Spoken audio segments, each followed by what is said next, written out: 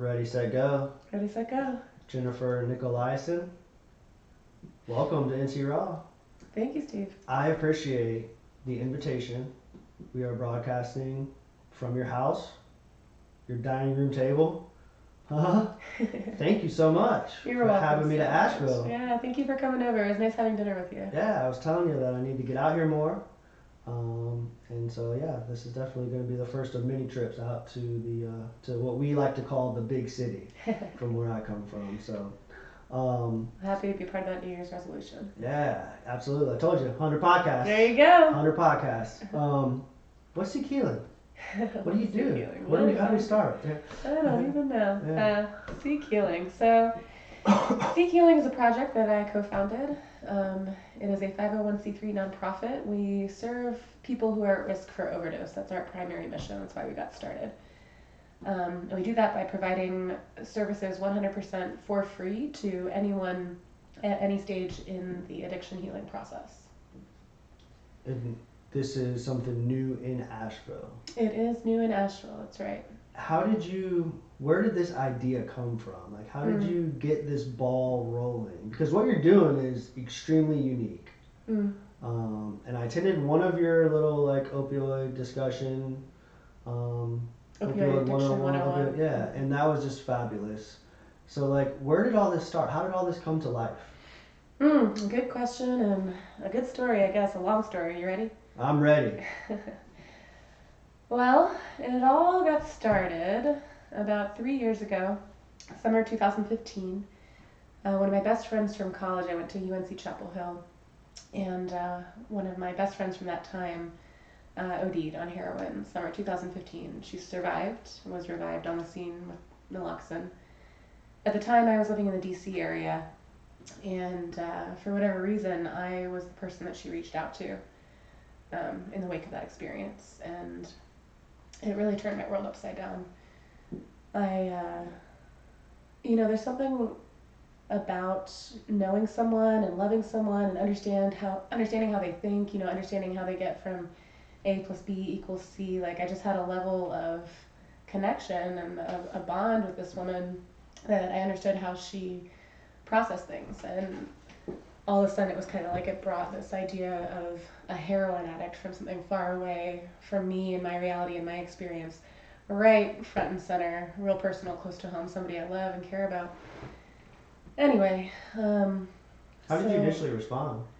to that phone call Yeah. uh, it was a crazy it was a, a full two day experience to be honest with you um, she called she was uh, she was really angry um, she was angry that she'd been brought back a lot of uh, suicidal intention active for her at that time in her life and um, I am not a psychologist. My background is in analytical linguistics. I was working in DC at the time as a project management consultant in the uh, energy industry Whole other world. a whole other world, yeah. And so I'm like, ah, you know, like googling how do you talk someone down from suicide, like as I'm talking to her, and you know, my heart bursting over this um, experience that she's going through, and uh, I ended up just staying on the phone with her for as long as I could, basically just not breaking the connection. Um, anyway, I ended up, uh, you know, the long story short is I ended up partnering with her to uh, get her into treatment. She had been to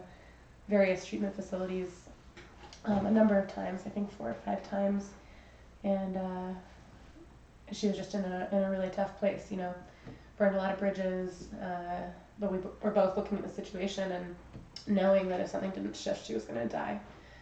So I partnered with her to uh, get her down to an alternative kind of um, detox treatment that worked really well. Um, honestly, it was a, a miracle. It was nothing short of transformative.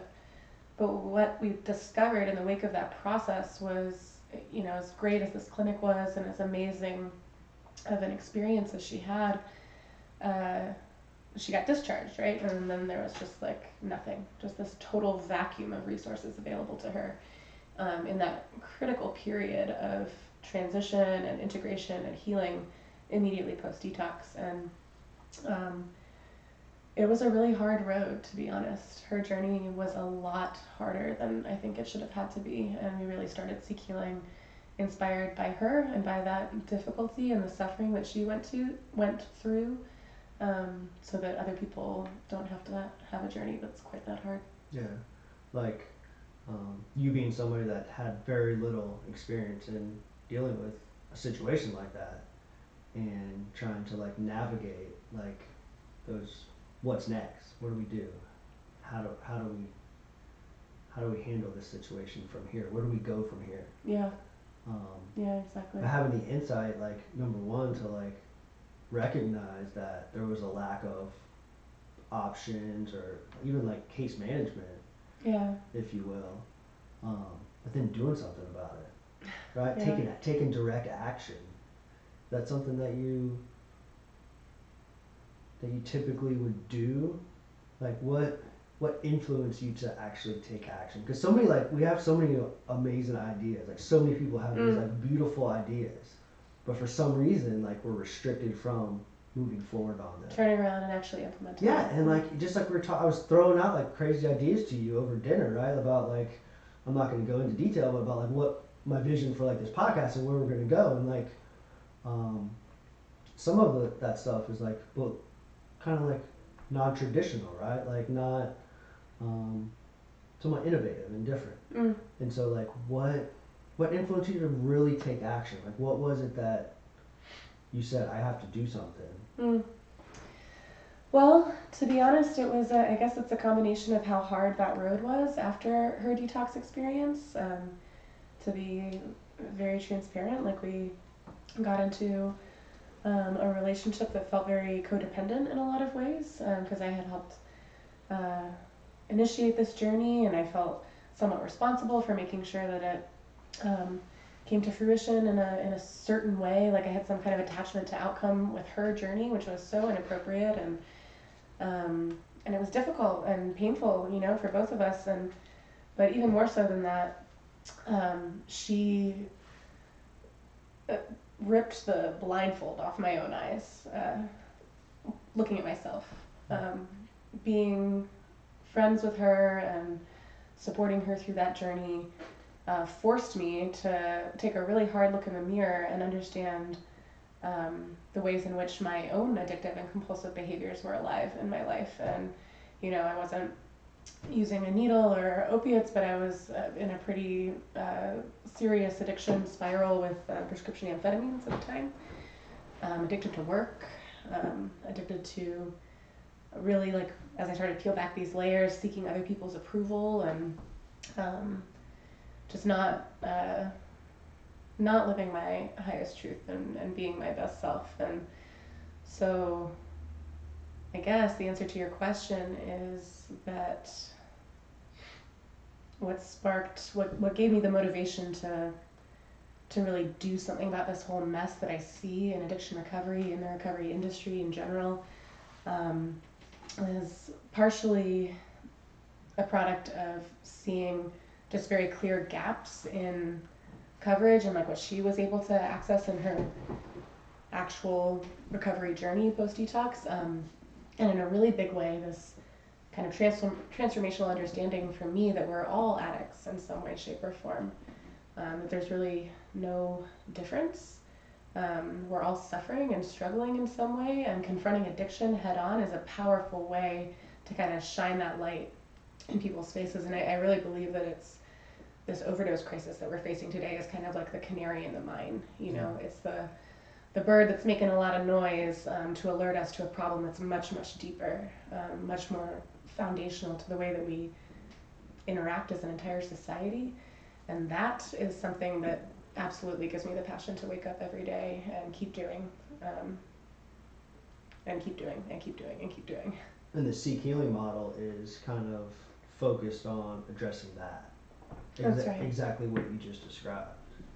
Yeah, so we see we're really oriented around the idea that addiction is a disease of the community. So addiction is certainly a brain-based disease that shows up in individuals, but if you really step back and understand the nuances and, com- and complexities of what's happening in our world right now, it's in many ways more accurate to describe addiction as a disease of the community, a problem with how individuals within society are relating to each other. Um, we're seeing this more and more. You know, there's a lot of research to suggest that addiction is really fundamentally an adaptation to an unhealthy social environment. hmm Where did you um Where did you start? Starting the project? Yeah, because that's like Well, a, yeah. it's a I, I guess I, I started with my own process, as I said. You know, I was kind of ended up confronting my own patterns, um, going through detox myself, and uh, fortunate enough to be in a different situation where I had uh, the privilege of providing myself with aftercare, what my friend didn't have, and what Seek Healing is designed to provide for people. So I went through that process, you know, beginning my own healing journey and feeling really passionate about uh, this truth and learning more and more about it and just kind of like ravenously consuming everything I could get my hands on as far as all this research goes, you know, and Gabor Mate's work and um, the importance and the, the role of trauma and addiction. And and if you read some of Johann Hari's work on chasing the scream and lost connections, understanding um, the role that loneliness plays in addiction, um, Cacioppo's work, I, I spent quite a, a few months just like reading and consuming and um, and to be honest, my co-founder, uh, Kyla Trainer, who lives in Nashville, I'm going to give her a little shout out right now, uh, had a literal dream, um, like a dream while she was sleeping, that we were going to start this thing together um, and uh, and help people. So like- you guys were like friends, yeah, we're, and we've been like best friends from college, and she knew this other friend as well. bouncing these ideas off of each other, and kind of like mhm. And she was watching the journey that I was going on Mhm. with our other friend, and um, just really inspired to, uh, you know, that maybe we can do this for more people. You know, we can uh, really step back and change the way that the whole recovery machine is working. Um, to give people more options and options that are going to actually serve them and serve to uh, elevate the whole world while we're at it. And so her dream inspired me to uh, start the state nonprofit in Virginia, which is where I was living at the time, right outside DC. And uh, from there, we began the process of setting up a 501c3. Sorry about that. No worries. And uh, had a fundraising launch party in May 2017. Um, where we basically just got like all of our friends and family together in a room and we're like, hey, we have a great idea. Want to donate to it? Anybody help? Yeah, yeah, we raised a decent amount of money that day. Um, and from there, it was uh, kind of a weird, long year of we had this amazing idea, you know, the opposite of addiction is connection. Like, think about all the things we could do, and casting a lot of vision and dreaming really big. And you know, in the beginning, it started, uh, or our main focus was gonna we're gonna build this app, you know, to facilitate connections um, online that people can then bridge into a real life experience. And I won't even go into all the details, but it was uh, it was misguided in a lot of ways. You see this little friend I got on my microphone? I saw him come down. Yeah, we got Welcome to North bug in Carolina. the studio, ladies and gentlemen. Uh-huh. um, You wanna give them to me? I'll take them. yeah, You can hang over here. I kind of like him. He's cool. Okay. We're hanging out. Um, anyway, we went down this whole rabbit hole of um, we got to raise big money and you know build this big thing. I'm interested in that app idea, but like we can maybe Yeah. talk later off. Yeah, you were kind of Yeah, you, it, you heard? You saw me? yeah. Earlier Uh-huh. over dinner, I was thinking, or Uh-huh. it came up as you were talking about that. I would love to discuss that more. Okay.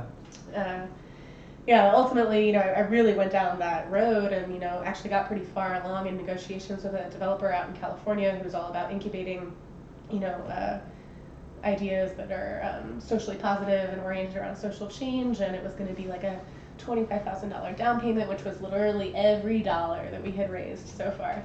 And the total cost is like 250K. And we're just like, yeah, we'll, we'll make it happen somehow, you know?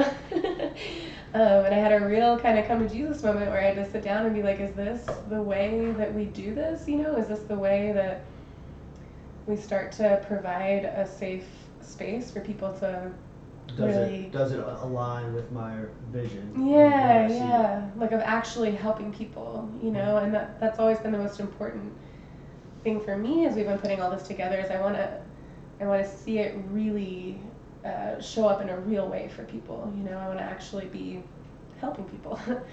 um, and that just felt so far away, and it felt like a irresponsible use of donor money to start there. So um, we pivoted completely, and we're like, well, you know, let's prove that it works. Let's prove that we can gain enough traction for a user base first. um, let's start a program. Like, let's do this in real life. And we're like, where are we going to do it? And, you know, there's this little place called Asheville, North Carolina that's full of open minded, interesting people. Um, there's a thriving recovery scene. There's, um, we, we knew what kind of model we wanted to create, which I can, I guess, explain more. But a critical part of it is networking with what we call connection agents in the community. So these are small business owners and other nonprofit leaders who are already doing really cool things that people can get involved in, like yoga studios or um, people who run foraging hikes and martial arts studios and improv comedy clubs and bringing those people together to basically provide resources uh, to those who are in recovery. So Asheville is like a natural choice because it's full of um, folks who are doing really cool things like that. And so we, I moved here last year, about a year ago, um, and just kind of started from ground zero. Like, hey, what's up? My name's Jennifer. I'm starting a thing. You want to be a part of it? Yeah. Where did what was the who wrote the program? Like, what role did you play in writing the program, and like, how did that like, what did that look like, and how did it come to be what it is today? Mm. That's a good question, and I think the answer is that we're still writing it. Yeah. um, but I mean, that's uh, that's really the role that I've played in the project Mhm. is designing the program and pulling it all together. Um, mm, What does it look like currently? what does it look like currently? So again, it's all based on the idea that the opposite of addiction is connection, and not just what that really means. You know, I'm coming from this perspective. I, I asked you that because like I heard you kind of deliver that message in the opioid 101 training class and like that those words the opposite of addiction is connection is like kind of in the prior to meeting you in the recovery circles and peer support um, places like that that's kind of like a catchphrase Mm. right like i hear it all the time i hear people say it i hear, I hear people use those words all the time Mm. but i don't nec- their actions don't necessarily align with Yeah. Their statement What does it really mean? Like, what does it really mean that the it- opposite of addiction is Yeah. connection, right? uh-huh And I think what it really means is like we got to start looking at the ways that we're actually connecting with each other. So I think i guess like how do you define connection how do you define connection, Yeah. right? Because in the you look back the last 20, 30, 40 years of human evolution on this planet, and our culture of connecting with each other has absolutely not been able to keep up with technology as rapidly as it's progressing, right? correct we just live in a world where social media has totally changed the landscape of how we interact with each other. Social media and smartphones, right? mm-hmm. And technology in general, you know, we're more likely to order something on Amazon rather than go into the store. Um, we spend so much of our time managing information flow on screens and, and off screens with each other. We're still focused on this kind of flow of information. And it's a beautiful thing in many ways. It's created this I mean, there's just so many incredible things happening in society right now. Um, but I don't think that you can deny that as much as this technology is freeing us up technically to do more stuff, we're also just tacitly less likely to interact with other humans as often as we used to be. And so there's something missing there, you know? And I think it's, you're missing it, you're missing the point if you stop there and say that it's, we're just not interacting with each other as frequently as we used to we're also not interacting with each other with as much in the same way that we used to, with the same quality that we used to. What I mean by that is um, what I often teach in, in the workshops that we're doing for Seek Healing. I talk a lot about attachment free connection. So if you think about most of the conversations and interactions you have on a daily basis with people, we're normally interacting because there's a point to interacting with this person in front of me. there's conditions There's- surrounding this Conditions, right, or Mhm. expectations, or mm-hmm. I'm speaking to you right now because I'm going to buy something from you, or because I want to get you to like me, or maybe I'm a therapist and I, I want to help you, I want to fix you, or, you know, I'm meeting you out in a bar and I, I want to take you out on a date, and the whole structure of my conversation is going to be created to get that Mhm. outcome, right? What humans really need, what our brains need to feel ha- happy and really be healthy, is an experience of connection that is totally free of any attachment to outcome. Mm-hmm. And that is so rare in our world that it's actually can kind of like knock the breath out of you when you experience it for the first time, especially if you've been in active addiction for a long time and you've given up on the idea that it even exists. Mm-hmm. Many people don't even know what that feels like, Yeah. and what you're, the, what you're attempting to tackle is like rewiring of this like habitual pattern that we've lived for most of our lives. Yeah. It's a challenge. Yeah. Right? Like, where do you start? yeah, I guess this all started because you were asking me what, what what do we do? Like, what does the model Yeah. actually look like? I mean, it starts with that. Honestly, it's starting with uh, the whole model is coming up with and implementing creative ways to tackle that Mhm. thing that you just described. So, the way that I first tackled it was designing this thing called listening training, which is a two-day retreat that teaches you how to listen better to yourself, so that you can listen better to other people. Which I've heard phenomenal things from from the few Thank you, friends thank that I know that have attended. It's pretty awesome. Anybody out there listening right now, you can go online to our website, seekhealing.org, and uh, sign up for the next round. Right now, we're only offering it, only able to offer it um, once every other month. That's a, a two day retreat, basically, two full eight hour days. Um, but as we move into the spring here, I'm looking at offering it much more frequently where uh, as more and more people in the community are stepping up to be a part of um, assisting and teaching and, and getting this information out there. It's, it's powerful material, you know. So we spend part of listening training talking about harm reduction, um, reframing addiction. We uh, talk about this concept that um, connection is at the heart of addiction recovery, that social isolation is what leads to addiction. Um, but I'd say that's like 25% of it is teaching those types of concepts, um, talking about trauma and addiction and all that. And the other 75% is spent in exercises. So interacting with other people who are in the training, uh, going through guided exercises or games. I call sometimes I'm criticized for calling them games because they're not always fun. Um, but the purpose of these exercises is to start to break down. Okay, how do how do how is it that I really show up in conversation? Looking at the parts where I'm speaking and the parts where I'm listening, and starting to break down where when I'm speaking am I performing hmm or trying to prove something about myself or about the world and So you're doing this exercise, but you're really looking at your own behaviors through and- the container of the exercise yeah Uh-huh. yeah it kind of forces you to take a, a hard look at how you show up in conversations like What's that up? you want to do it right now Yeah. okay um, hmm. so uh, what i would offer is that these exercises are supposed to draw our attention to what i call the we space so normally in everyday conversation it's you and I talking, or right now, what we're doing on this podcast, you and I are talking, and we're talking about a third thing, which is seek healing. That's a triangular conversation. You're asking me Yeah. questions about how it started. Da, da, da. So what we're gonna do right now, if you want to do this, is we're gonna drop into we space, Sure. literally all that's happening right here, right now, for you and I. Yeah. Okay, I'm ready. you ready? Uh huh. Okay, so just hang with me, right?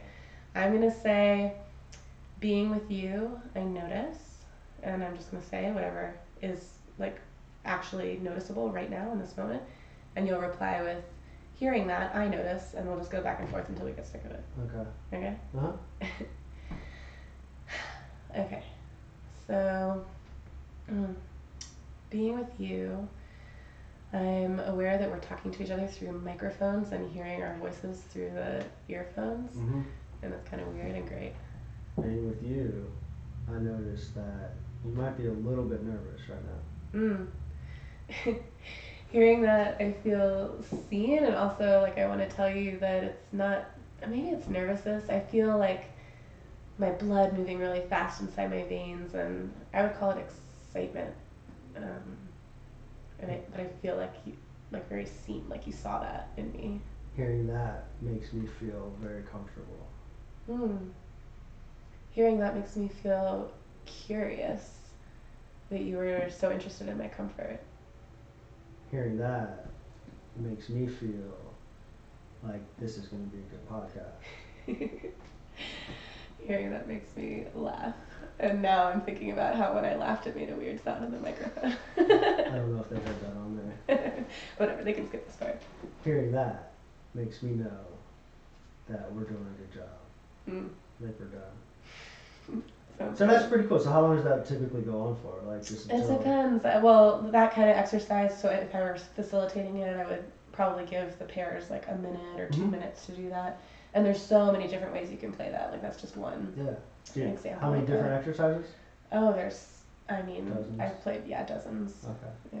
So you complete the two day retreat. Mhm. You become a listener.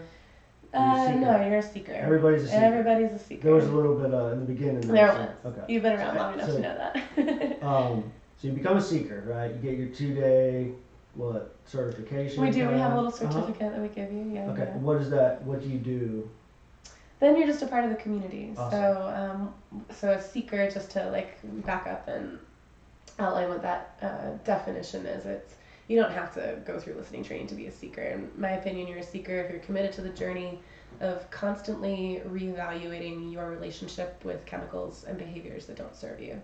Um, so that is a wide range of things, right? And that could mean I stop using heroin, but now I'm reevaluating my relationship with work and with coffee and other things that I tend to be addictive and compulsive about, or maybe I never struggled with substance use, but I'm reevaluating my relationship with food or screen addiction. Um, and these things come and go, right? They ebb and they flow, and some days they're easier than others, especially after you give up or choose to abstain from a more serious drug habit.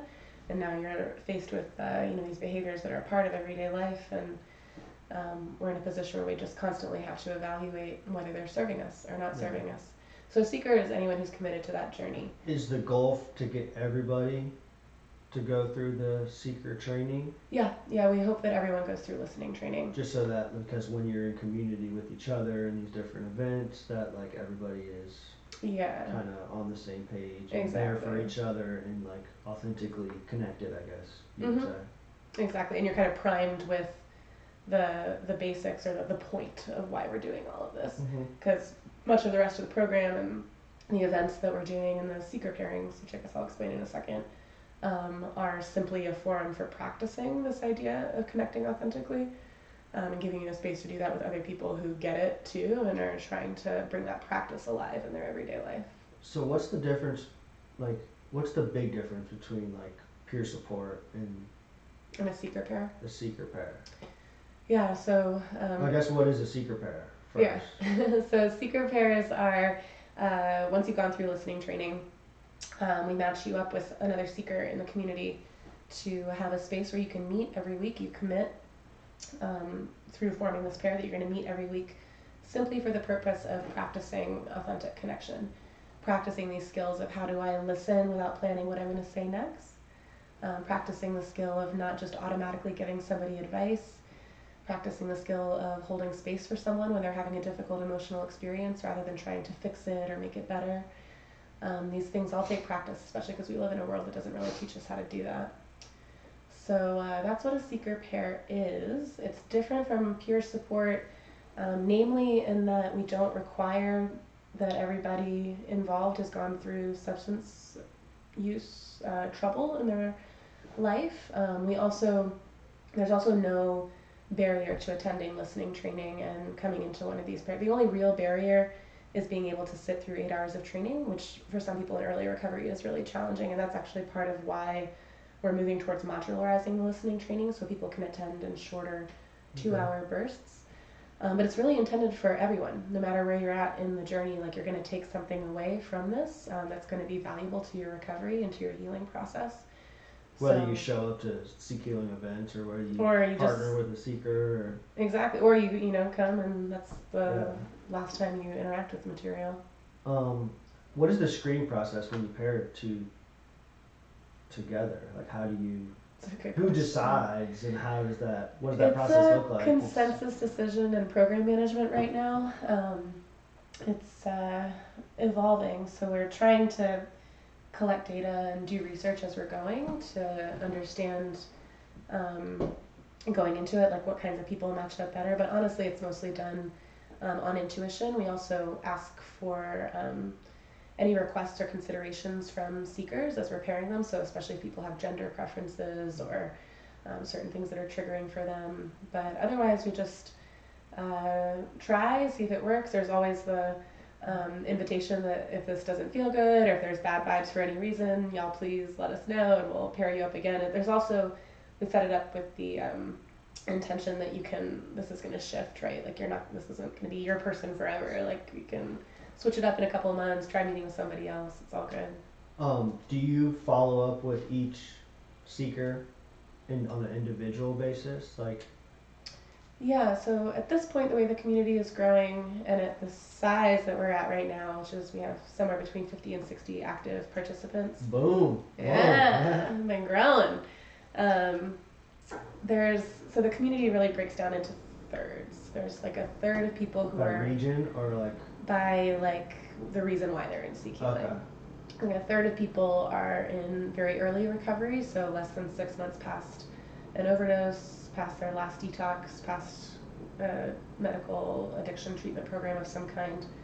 Another third are um, folks like myself, I think uh, you identify as well as someone in long term recovery.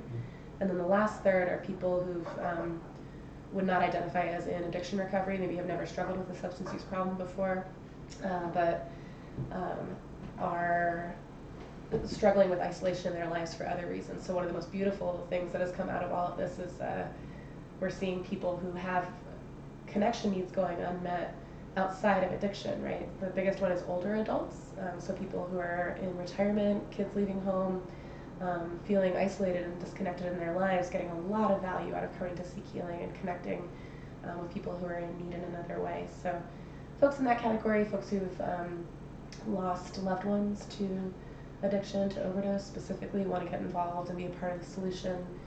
Um, yeah, so we have, so you asked how to we keep up with all these people. So, uh, for the folks who are in very early recovery, we have a separate program track that's available um, if they wish. It's not mandatory. It's all everything is entirely volunteer, but there's a separate scholarship program available called our Extra Care Program, and that's provided. Everything is provided 100% free to program participants, but for people who are in the Extra Care track, they have access to direct services like acupuncture, body work, counseling. Um, all kinds of things where uh, Still Point Wellness do they do those sensory deprivation floats? Um, I'm so like interested in that. it's so cool. Have you done it? Oh yeah, that was actually probably the thing for me in my early recovery. That's Um, really, you done yeah. like both, yeah, before I moved down to Asheville, I went to Oh. yeah. It's uh, it's a game changer, especially if you have you ever been given the ADHD diagnosis or anything as like that. As a child, Yeah, I've teenager. Been living under it as well. And I don't know if that whatever that all means, but if uh, for me it was just like the most incredible experience of relief, like having all of your senses turned off for 90 minutes. Just because like.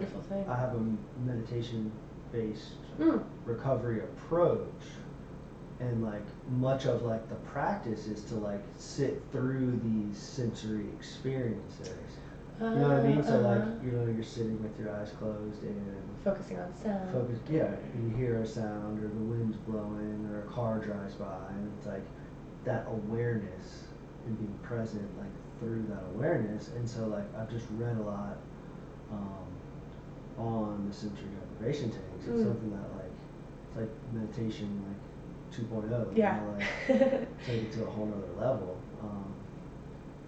yeah, it's, it's but i have never made it out here to do it Ah, you gotta go sometime. Yeah, I'll go with so you. cool. They're good people out there. yeah it's so cool all right pardon me carry on That's okay. I forgot where I was. uh, the resources that are you guys are available or that you are connected with in the community.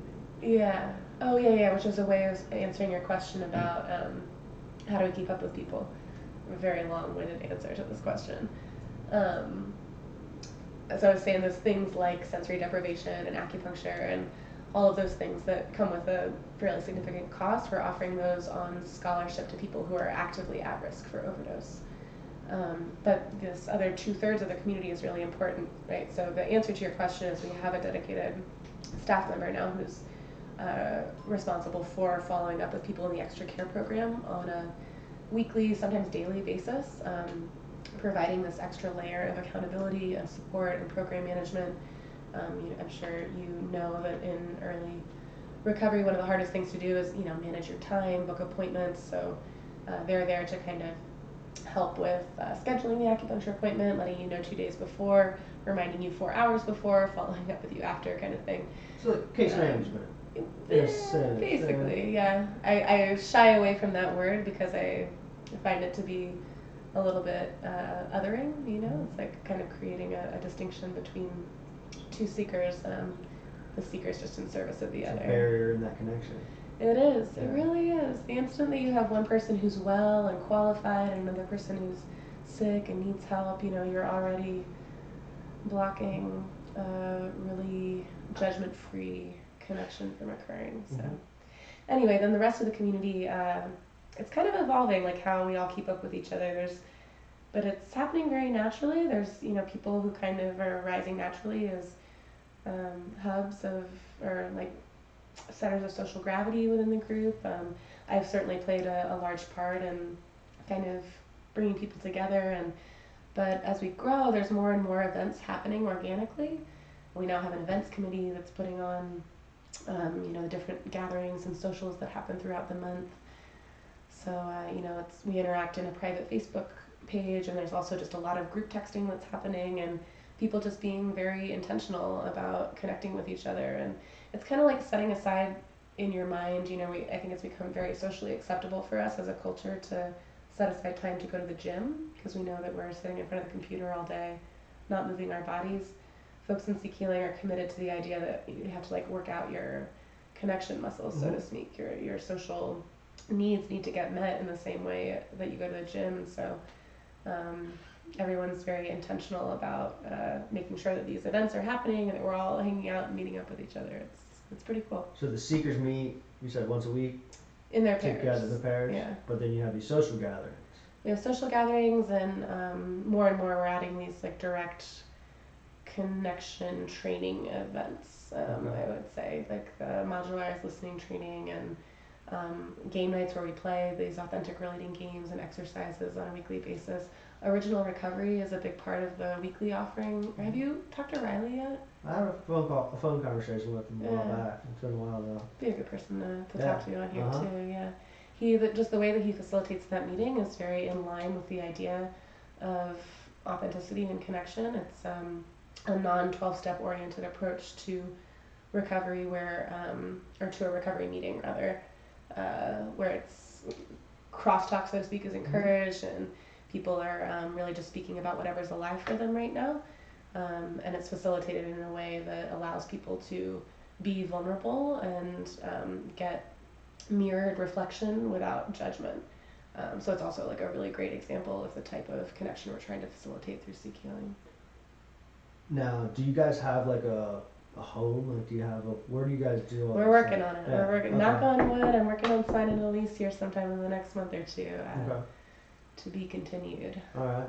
Um, what was how did what was the reception like? Like when you first rolled into town into Asheville, right? Um, how did you how did you go from what was that like a year, year and a Yeah, half, Less than a year ago. less than a year ago, to having fifty to seventy seekers involved on a regular basis? Like that's some significant growth in yeah. short period of time for a, a brand new model, right? yeah, Like- yeah, it's kind of mind blowing when I sit back and think about it. Yeah, um, Because like I think like I want to say that I had seen it on Facebook, but somebody else like within like a day or two called me or texted me about it that they saw it like on a poster in a bathroom somewhere Mm. at a coffee shop or something um, somewhere. Like how did you how did you get the message out that you were like doing something different and like was there any resistance to like mm, because like it's a good question. you know, I come. I spent some time in South Florida, when there's a lot of like questionable recovery industry Mm, um, businesses going on down there, and like Asheville's kind of like. In the last couple of years, we have a strong recovery community, but at the same time, there's uh, there's a little bit of that kind of like a lot of money being made in recovery. there's a lot of money being made in our backyard. And so like was there any have you experienced any type of resistance or to Mm. like you know you know what I'm saying? I do. You're you're asking the juicy questions, Steve. I like it. Um, Hmm, I'll say it was a lot less resistance than I perceived we would encounter in DC, which is part of why we chose Asheville to come and incubate this. It was less than you perceived in DC.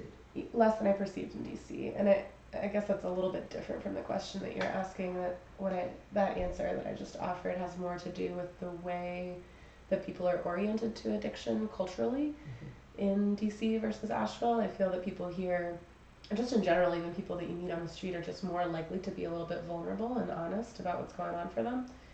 Um, my experience of culture in other places, not just DC, but outside of Asheville, um, is just a lot more shame around, especially around socially acceptable addictions like drinking and workaholism. And um, so I just, we initially perceived that this was a much more open minded community.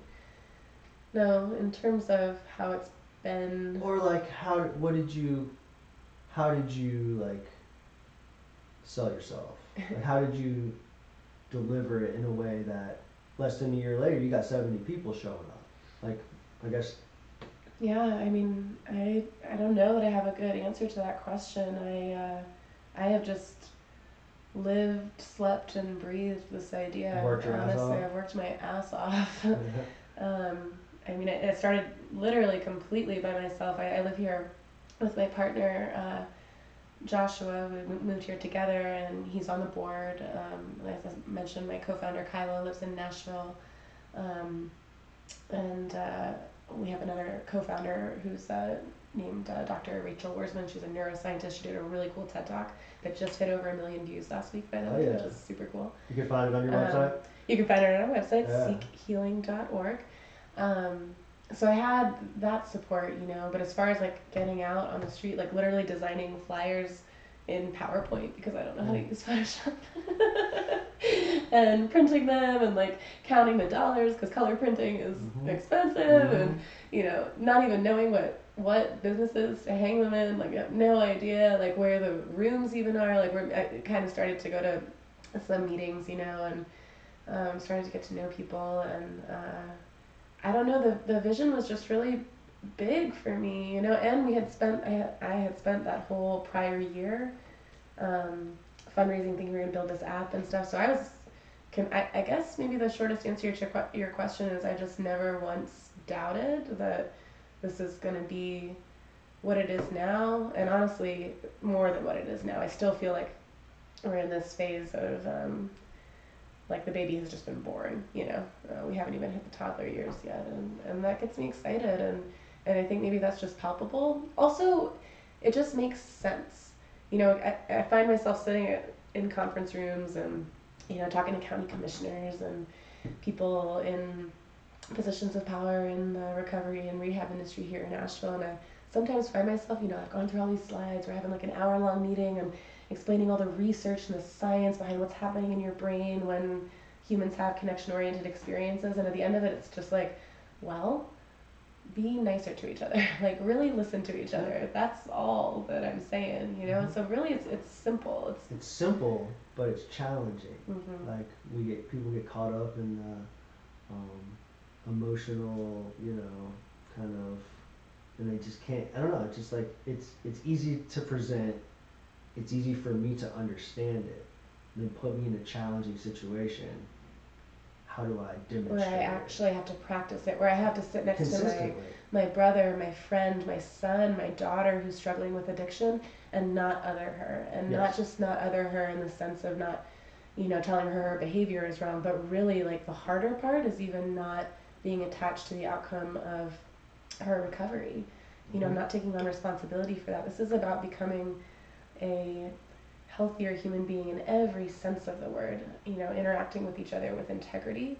Um, so that we can really experience that juicy, feel good connection. It's hard. It's so hard. um, and I guess that's where like why those those little exercises are so valuable. Uh, And like, are there techniques and things that you like like homework, like things that they can do on their own, like practice at home kind of stuff? Yeah, I, I don't really do homework, but home- you know, definitely these exercises. I mean, I live my whole life in this practice now, Yeah. you know, and there's ways that you can bring it into every moment of interacting with other people. There's also there's lots of techniques. So those games come from a a model called Authentic Relating, Mm-hmm. real creative name. Uh, there's a really great resource online for those games, Authentic Revolution. Um, there's a practice called circling that's pretty alive here in Asheville. The Circling Institute um, puts out some really great information and practices about how to be in a group of people and stay in this like very present moment. It's almost like uh, meditation during conversation is Mhm. like one way of thinking about it, right? Um, nonviolent communication, NVC, is a, a practice that's also very aligned with everything that we're talking about. Um, and that has a very, um, there's a big community of folks here in Asheville who practice and teach NVC. So all of these techniques are definitely portable outside of the container of listening training. Um, one of the questions I'm sure you asked a lot is like, how's it funded? Mm. Right. Yeah, yeah. So we're funded about um, half and half uh, through a partnership with the state, um, and half through private donations. You guys do like fundraising events throughout the year, We do. getting ready to plan some. Yes, sir. I just finished presenting the fundraising plan for this year to our board about a month ago. So I'm going to be hustling and hitting the streets here. Yeah. Uh, yeah, we have a big raise ahead of us this year, this calendar year. Where do you see this thing going?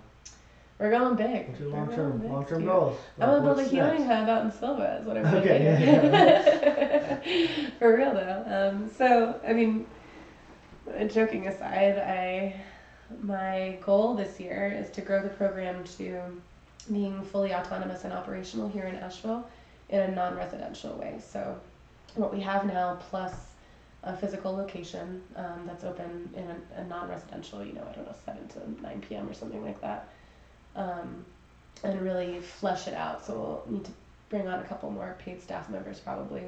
I really want to buy a bus and paint it in really cool colors and give people rides to recovery events and uh, Seek Healing gatherings. 'cause- Mhm. excuse me, that's what's needed. So much. There's so many people who uh, struggle with transportation and early Yeah. recovery. You know. So anyway, I have a you know, I've targeted a burn rate for what that like kind of fully complete non-residential program would look like, and that's the goal for this year. And then from there, my the dream is to uh, replicate that in other cities. You know, once we have a really clear model like this works, this is how you empower people. Excuse me. What's that? What did you call it? The, the crud. The crud. Yeah, man. We're both battling it. You guys heard me on Monday night. It was rough. it was rough. It's that time of the year. Yeah, I guess so. Yeah. Told you I normally like fight it. It doesn't. Mhm. I, I normally don't get it, man. I don't know what's going on. Um, it is what it is. is there anything else out there like what you guys are doing? Not that I'm aware of. Yeah. Not that I'm aware of. We've seen. I mean, there's certainly other. There are a few other organizations who are um, playing with this idea that the opposite of con- uh, addiction is connection, and you know how can we uh, execute that in a more clear way. Phoenix Multisport in Arizona is one that comes to mind. Um, some of the things that they're doing in Iceland, we were talking about that over dinner. Um, but as far as the authentic connection piece, like this piece of what is the quality of connection that's missing in everyday life, um, I don't know that there is anybody else really. And one of, one of the big um, milestones for me this year was bringing uh, Dr. Gabor Mate onto our advisory council. I really see him as kind of um, the father of harm reduction work in a, in a big way, but also in really understanding the role of authentic connection and trauma and healing from trauma. And uh, he, I asked him that same question, you know, like, is there anybody else that's really doing this, or what are those other organizations, and how can I meet them? And Yeah. I guess it's like my real question is why? How come no one else is doing yeah, right, right. You know? It's uh, I don't know. It's happening now, so that's good. Yeah. Uh, anyway, the rest of my answer to your question before I started dying from that cough was that um, uh, eventually uh, I want to build residential facilities um, with a detox component. Um, facilities built on farmland, hopefully out in rural areas uh, where people can get the experience of living in community and sharing the land and working together uh, for short-term stays. You know, as long as you need after your detox to start to heal and integrate, um, and then we'll have natural bridge programs back into uh, reintegrating in the community with a non-residential program. I think there's something powerful in teaching those skills, those connection, authentic connection skills, day one. Right? Mm. Like, um, like literally from the time you begin that the detox process and start learning and practicing those skills as best you can. I think that there's really something uh, powerful in that Yeah. that can kind of like sustain and continue to allow the individual to um, continue to grow and like Yeah. get, getting get getting at it ear- as early as possible, getting in there and teaching that as early as possible in you know a facility like what you just described. Yeah, I, I really, really just think you're absolutely right about that, Steve. I um, I've seen it. We Yeah. have the um, yeah. I'll just leave it that I've seen it firsthand, and uh, the difference is that it's empowering Yeah. rather than uh, rather than you're sick and you're getting better. Like honestly, I, I we choose the word healing very intentionally over recovery because in in that sense, um, it's not like you're having to recover anything or get better from something. This is actually an empowering experience where you get to choose the kind of life that you want to live, and through um, experiencing this type of connection that isn't holding you to an expectation um, or expecting that you behave in any kind of way, that it actually creates this whole space for you to show up.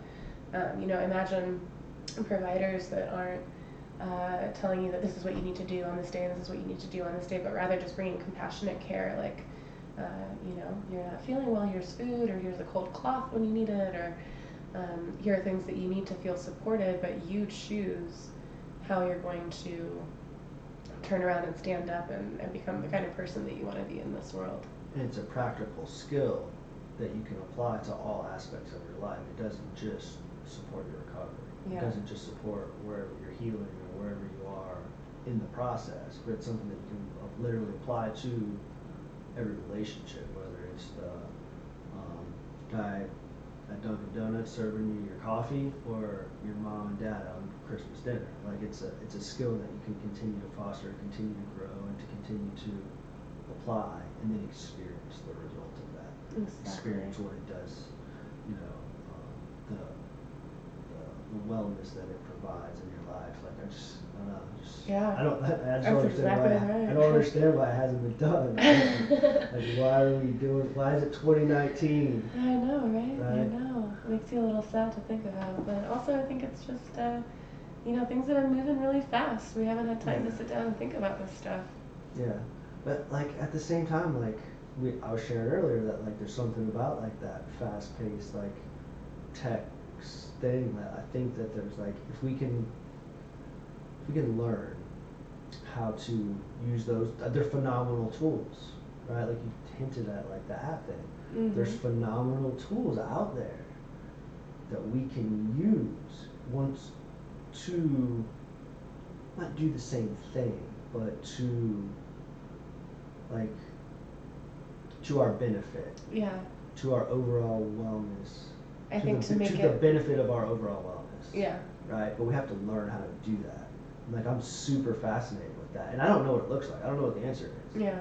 But it's something that I'm like, I think it's where we start to. I mean, not to put you know words in your mouth. My take on it is I think it's where we the difference between being intentional about how we're using technology and just letting the technology kind of guide the way that we live our lives. I, I think I was even talking about this before we turned on the microphones as well. Like this idea that most of us get these smartphones and we just take them as they're given to us, like with all the notifications preloaded and the way that the phone communicates with me. I just accept it the way that it's given it to me communicates with you the way that they, they want it that they to. right right and maybe they're you know maybe there's a they and they were very intentional about yeah we're gonna get all of their like attention and focus or maybe it's just like how the programmers did it and they didn't really think twice about it There is. but but i think but right like Uh-huh.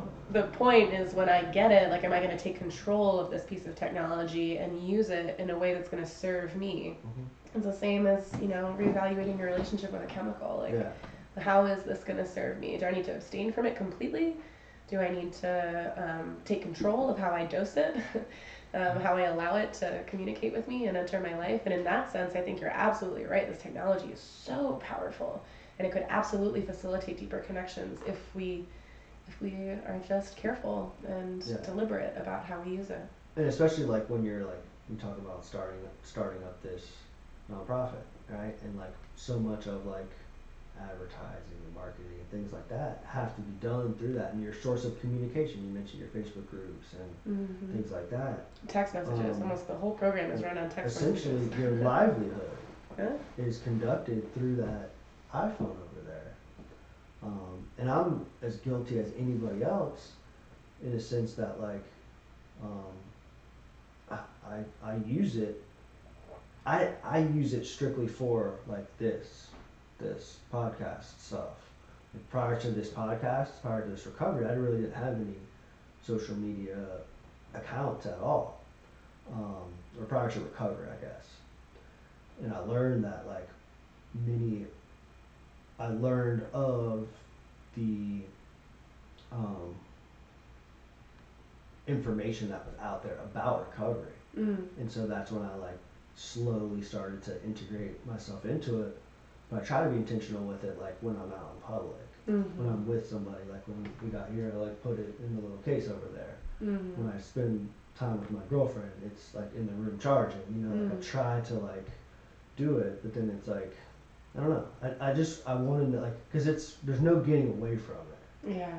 right? Moving forward, five years, ten years down the road, like and Seek Healing is growing nationally, and you're opening um, chapters, you know, across the country. Like that's going to be a source of communication with each other. Like I, I just don't know I don't know what it looks like, but I'm like fascinated with like how can we change the just like you're doing with the approach to recovery, the approach to addiction. How can we change the way that we use that tool to Mm. benefit to benefit us? I kind of got off on a tangent about the technology, just No, because I'm fascinated with it. It's fair, and I think Um, it's very relevant, you know, to this whole topic of connection. Um, Yeah. It's extremely relevant.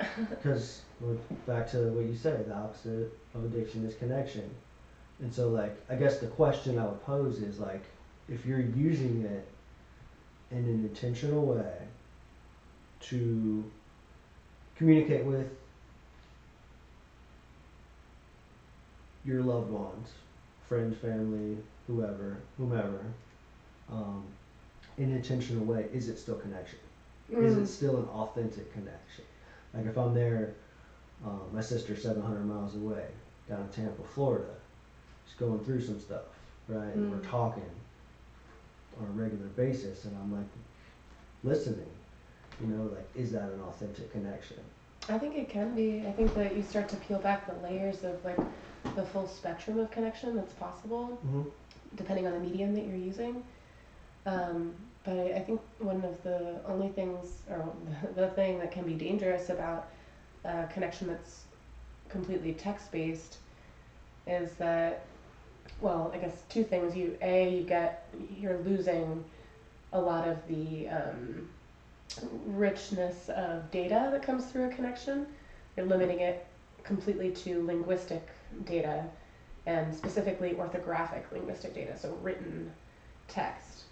Versus if you have a phone call, then you're opening it up to, you know, audible linguistic data, but you're still losing um, a number of the wavelengths that are present in human speech when we talk to each other, and our brains pick up on all of that information, right?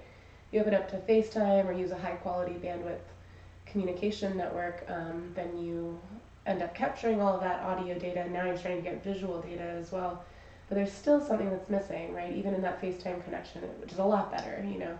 Um, Like I was sharing with you that I don't, I have no interest in doing Skype interviews. right, because there's something, yeah. there's also energetic data that Mhm. we share with each other when we're physically present with each other. So I don't know, for me, it's like, you know, each of these different ways of communicating. I'm going to take all of them. Like, I, I text with so many people and I, uh, I treasure those connections and I'm grateful for the technology for allowing me to stay in communication and to listen to people who I love who are far away. Um, but the danger that it can potentially create is if you're already in a pattern of communicating in a way that's full of expectation, um, either of others or just a lot of expectations that you're exerting on yourself and um, shame that you feel around, you know, not being enough or how you show up in, in communication, in relationship. Uh, texting can really exacerbate, or text based communication can really exacerbate some of those patterns um, and make it more difficult. But I don't think that that means it's worth giving up on. I think it's Yeah. just another opportunity for us to go deeper and be more deliberate. You hit on something a couple times tonight. Mm. Shame. Shame. Huh?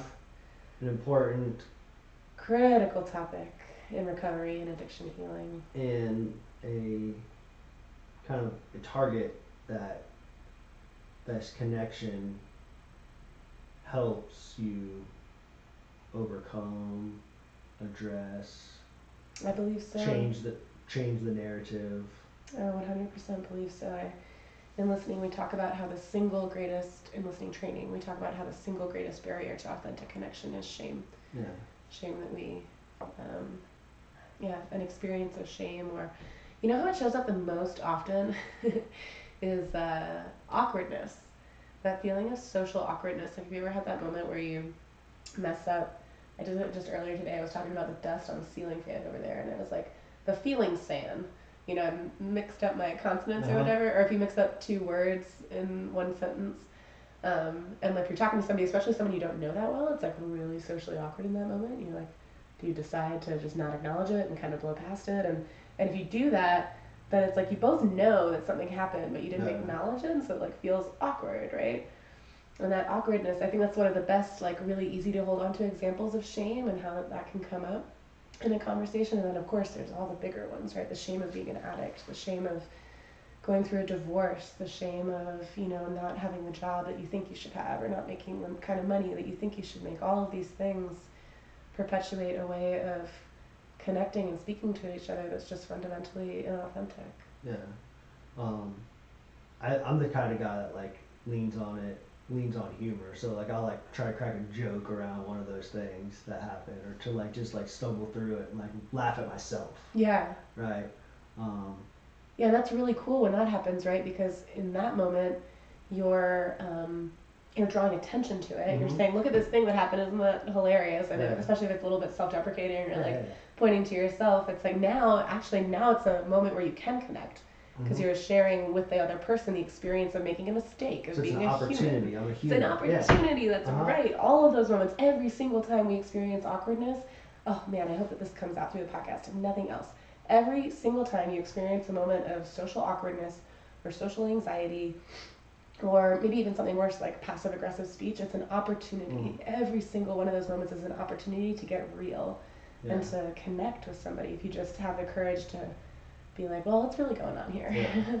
I really like within that's something that I've worked on within the last or like noticed or recognized within the last like year, year and a half is that like I challenge myself that every single time um, that I feel uncomfortable, I Mm. make myself do exactly what it is that's making me feel uncomfortable. Okay, like the things that in, in active addiction, I would avoid the shit out of them. Like I would, I would just bail, disappear, Mhm. get out of here, fight or flight, like bail out of here. It's time to roll. I think that's what addiction is. And so like today, I school starts on Monday, and there's I made some changes to my schedule and like some things have been like happening that we have to make some adjustments. And so like I had to go. School starts Monday. I had to go and speak to my advisor this afternoon. I got off work, went and met with her, and then I came here to your house. And I was dreading the conversation. Like I, it was just, I was not hurt with her, not with you. I got that. I got that. Um, I just like did not want to have it, right? And so like all day long, I was just like telling myself, I'm like, no, you you're gonna go in there and you're gonna like own up to like what is going. You're gonna be honest with her. Mm, You're gonna mhm. go into her office because you don't want to. Like I was Mm. just reminding myself, as kind and like gentle as possible. It took a long damn time to learn this. Mhm. Um, but I was like, I have. You're gonna go into her office, and you're gonna be completely honest with her, and you're gonna tell her like why things need to be this way, and why we're why you're gonna make these changes. Mm.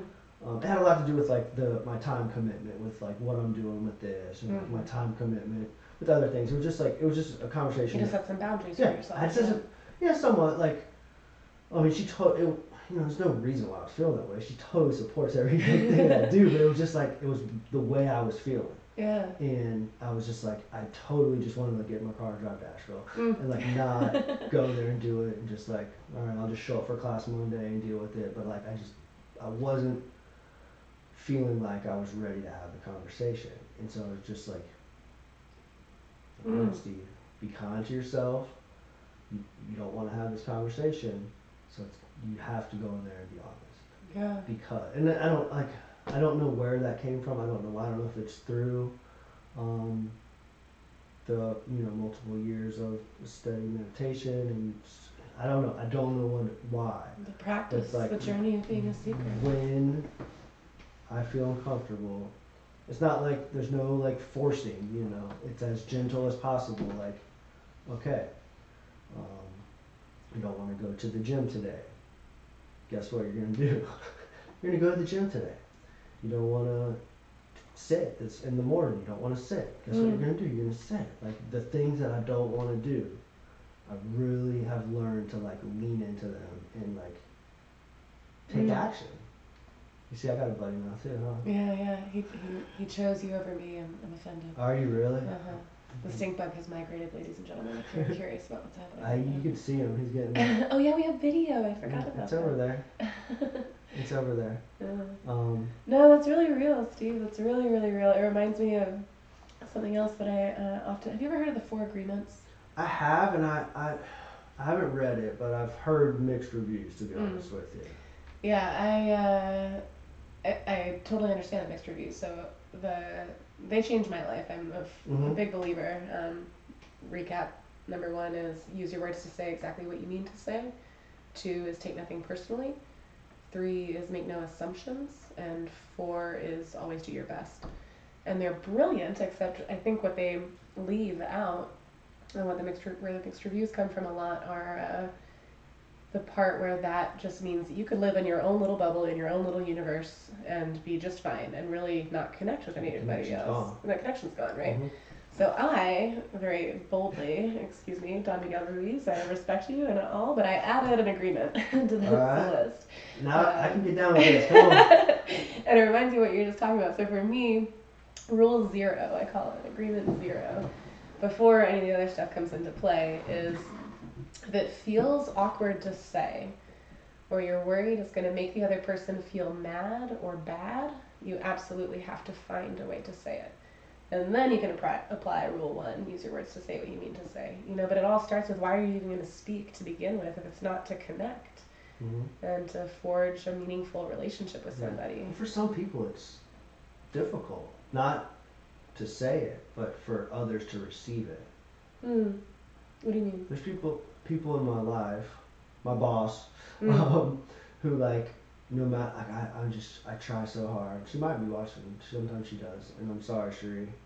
I, I you know say what you say what you mean. Or being mean- authentic. Mean, what you say, but like I try like so hard to like be as kind and like connected and gentle and like just communicate healthy with her and it's hard it's Mm. really really hard to do um, she tends to like no matter how i approach no matter how i approach the conversation she tends to like t- receive the message in a way that i did not intend it Mm. to, to be received Maybe in a way that's taking it personally, it sounds like yeah sometimes. Yeah. now he's in my beard Man, this little guy is not leaving us alone. he wants some airtime he? He's like, I got things to say.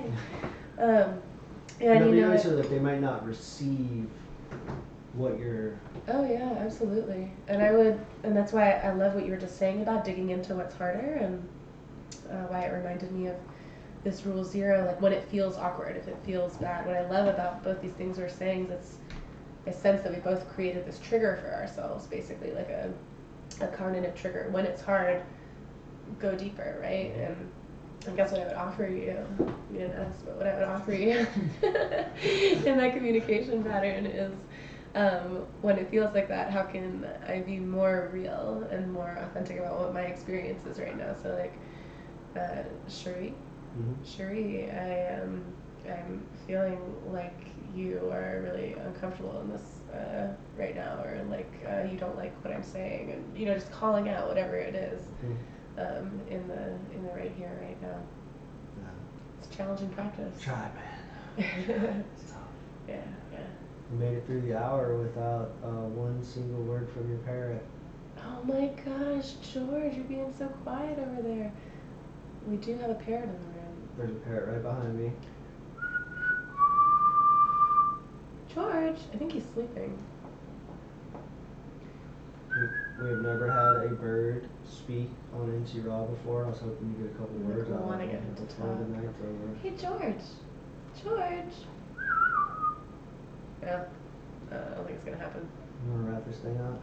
yeah. Okay. This has been awesome. Thank you, Steve. I appreciate the offer. I really do. Um, it was a lot of fun. Mm. I'd like to do more out here. So like maybe like we could do like a seeker event. Like I'm doing tomo- so tomorrow. Um, anybody that's watching live tomorrow, we're gonna be at Making Whole Mm. at Jeremy's French's studio to do like a podcast and a lunch. But I want to do more stuff like that. So like maybe we'll do like a seeker event.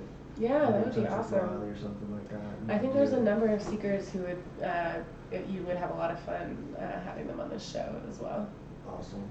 Cool. Well, thank you again, Jennifer. You're amazing. It was a wonderful dinner and conversation. Yeah, thank you, Steve. Appreciate it. Yes, ma'am. Y'all have a good night. Thanks for tuning in to NC Raw.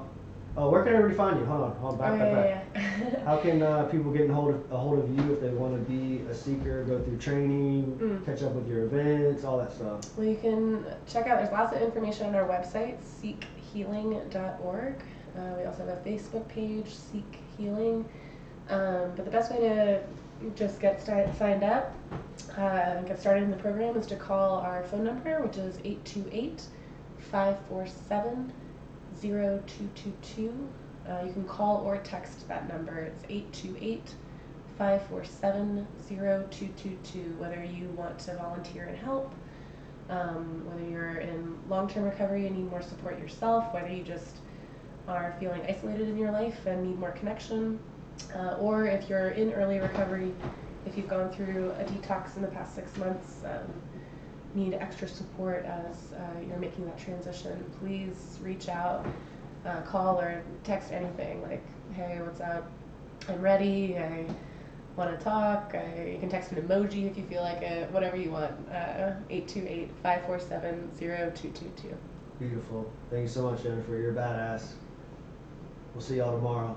Thanks, Steve.